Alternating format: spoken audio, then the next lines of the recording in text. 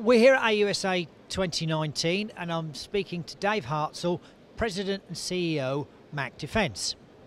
Dave, um, we're standing beside a Mack all-terrain crane.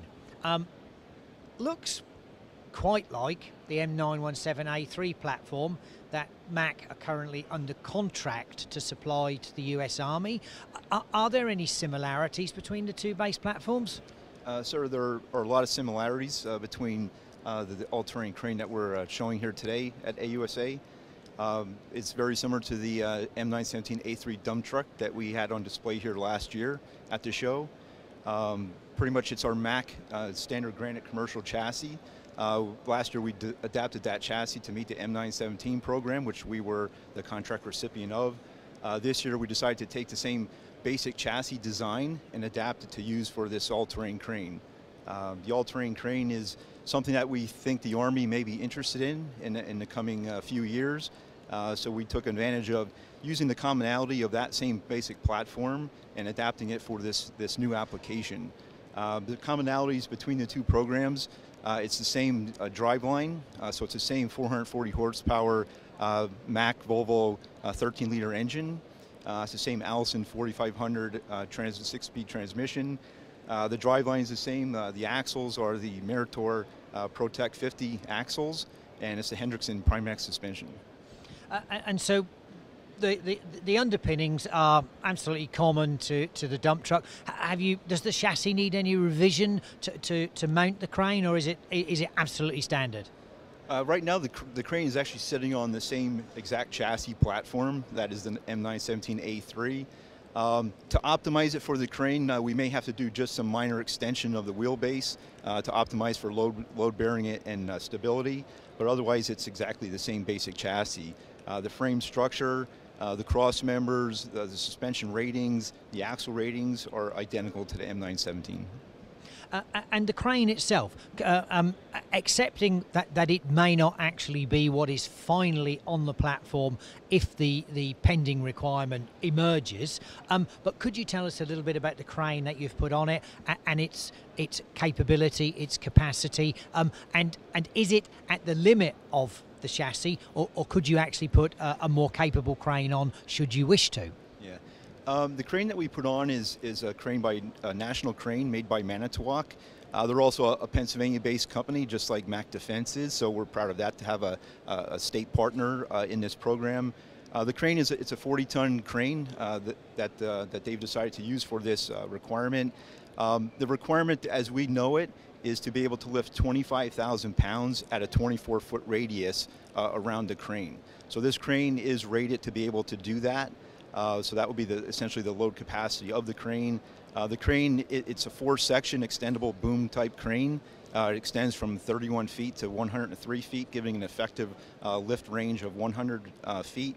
but basically the requirement is, is that 25,000 pounds at 24 feet. Uh, the outriggers that are self-contained on the crane platform uh, also extend out to 24 feet. So the Army requires that you have to operate outside of the outriggers, and that's where the load uh, capacity rating comes from. Uh, the crane is designed, it has uh, ground level uh, abilities to, for setup, but they're also able to adjust the crane and operate the crane from the cab, obviously.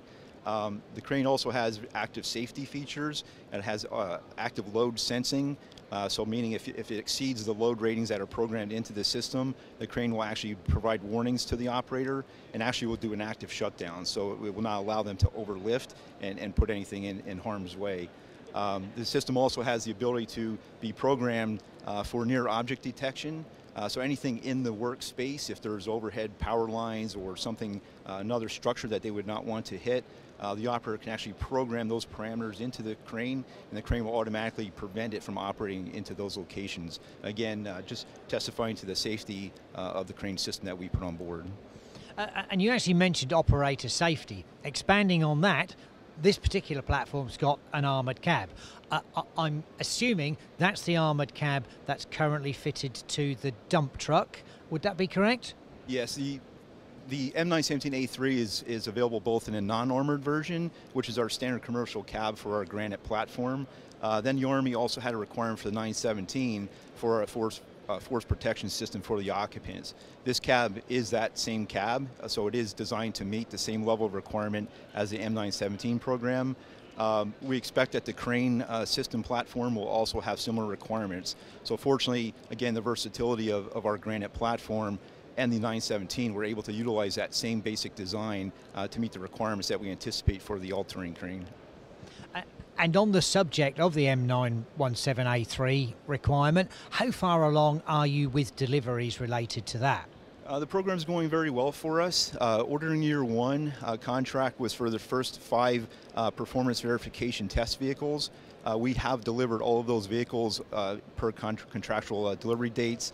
Four of those vehicles are currently on test at Aberdeen Proving Grounds by the U.S. Army. they're going through all of the vehicle performance testing and they're ready to start the RAM testing as well. Uh, so, so far it's going very well. Uh, the fifth truck is actually at our IPS system supplier, uh, working on all of the aftermarket uh, requirements for the operator's manuals and service manuals.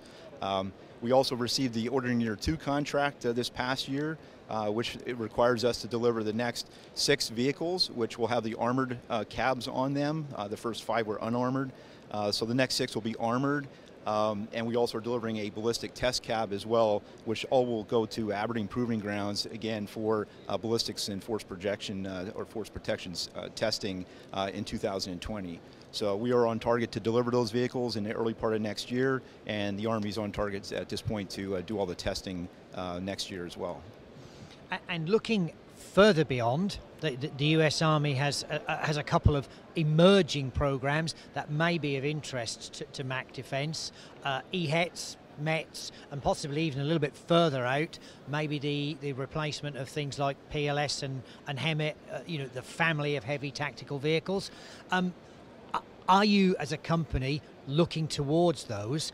Um, and if you are, is there is there anything that you are doing with reference to those that, that you're happy to share?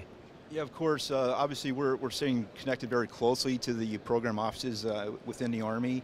Um, the programs such as the upcoming line haul potential replacement uh, and the METS program, uh, we feel we have um, a very good commercial-based platform that we can use and adapt, similar to what we did for the M917 program.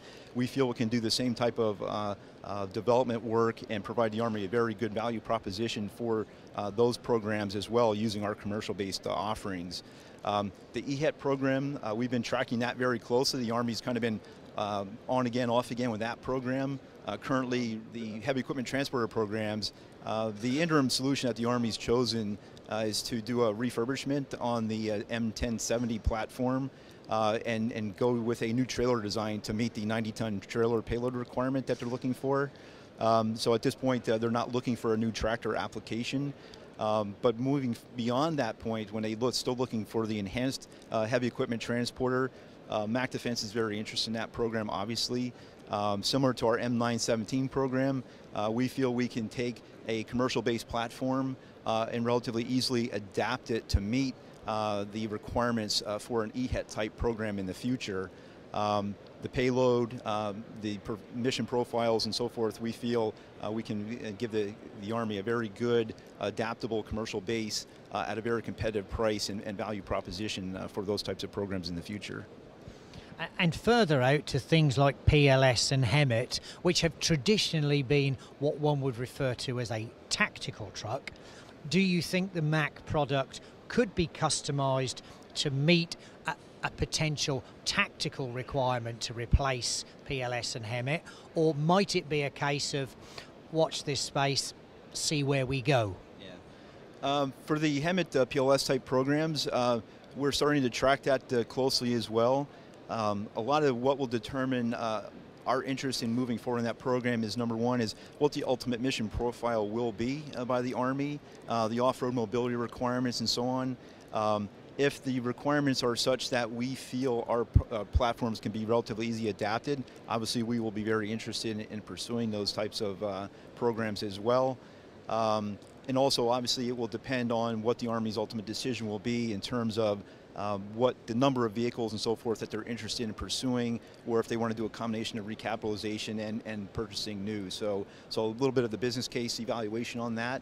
Uh, but it is something, again, that, uh, again, depending what the final decisions are on specification requirements and mission profile, uh, we feel we can take a, a, tr a truck uh, similar to the 917 platform. Um, our commercial Granite platform is used in a, a number of um, and variety of different applications, uh, a lot of off-road construction type applications. So, so we think again uh, that we can get very close or, or exceed some of the application requirements that they would have for such a, a program for a replacement of the HEMTT and the PLS systems out there.